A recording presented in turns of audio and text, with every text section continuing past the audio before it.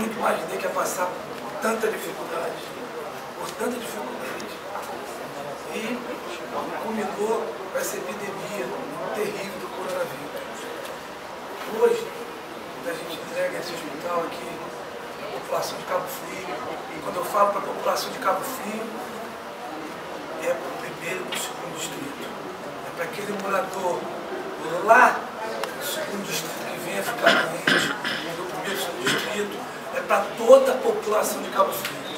Nós vamos ter, nós estamos tendo o primeiro hospital com 21 leitos de UTI e mais 60 leitos de internação clínica, única e exclusivamente para combater o coronavírus. Nenhum município do estado do Rio de Janeiro teve esse privilégio.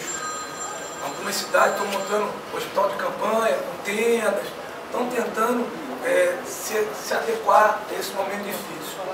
E nós tivemos a graça de termos esse hospital que estava fechado há mais ou menos oito meses.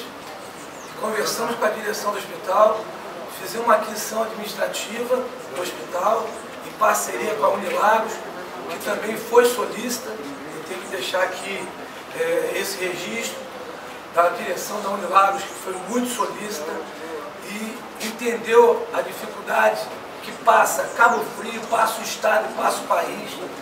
E de comum acordo nós conseguimos fazer essa parceria. E hoje temos um hospital para poder salvarmos vidas. Salvarmos vidas mesmo. O que a gente está vendo aí na imprensa, nos países desenvolvidos, são verdadeiras calamidades. Jamais poderia imaginar ver a maior potência do mundo de joelho, tendo que segurar carregamentos de respiradores mecânicos que não tem no país para poder salvar a vida das pessoas. Os Estados Unidos hoje já bateu o recorde de mortes no mundo pelo coronavírus. A maior potência do mundo. Então, é, nós temos muita coisa contra a gente. Muito. Nós somos um país relativamente pobre, somos um país que temos uma desigualdade social imensa, mas nós temos uma coisa que nenhum outro país tem, que é a solidariedade humana. Todas as crises, durante a minha existência eu pude ver brasileiros sempre estendeu a mão para o menos favorecido, fazendo campanha de cesta básica, campanha do agasalho, campanha sempre para ajudar o próximo. E agora não está sendo diferente.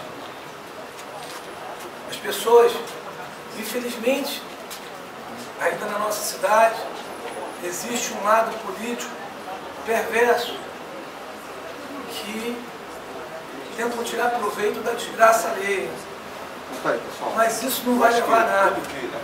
Hoje, eu não tenho dúvida, nós estamos mostrando hoje aqui para todo mundo que nada resiste ao trabalho.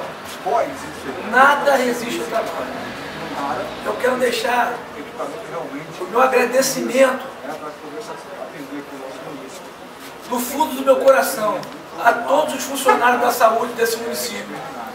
Que eu sou funcionário dessa saúde também, há mais de 20 anos, e nós nunca fugimos ao nosso dever.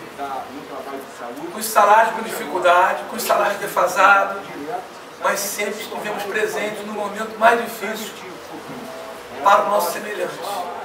Então, obrigado, obrigado a todos, todos os funcionários da saúde, daquele que mantém o hospital ali, daquele que cuida do paciente no leito, daquele que passa o medicamento para o paciente, a todos, sem exceção. Muito obrigado. Eu queria pedir uma salva de palmas a esses heróis que a história vai mostrar no futuro.